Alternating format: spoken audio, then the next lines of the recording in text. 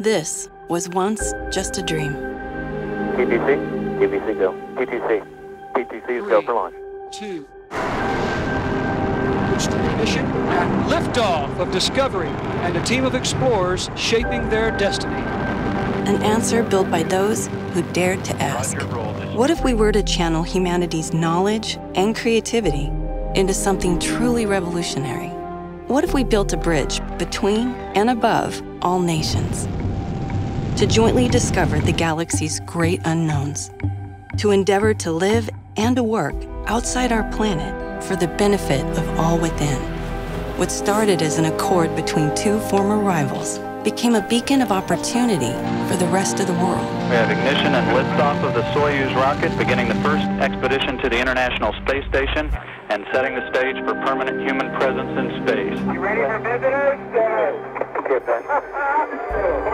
We live this dream aboard the International Space Station. Understand it's good to have you there and adjusting to your new home. Adapting to life in space has been a process. For the past 20 years, over 230 astronauts from all over the world have worked tirelessly together, boldly performing pioneering research and high stakes spacewalks in the unforgiving environment of space.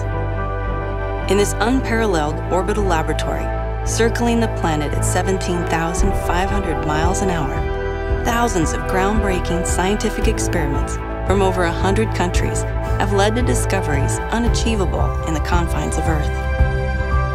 From 250 miles up, an unbroken chain of residents have shared their view and their research with a generation eager to understand this higher plane. The space station is a symbol of humanity at its best, a shining example of international peace and collaboration in action.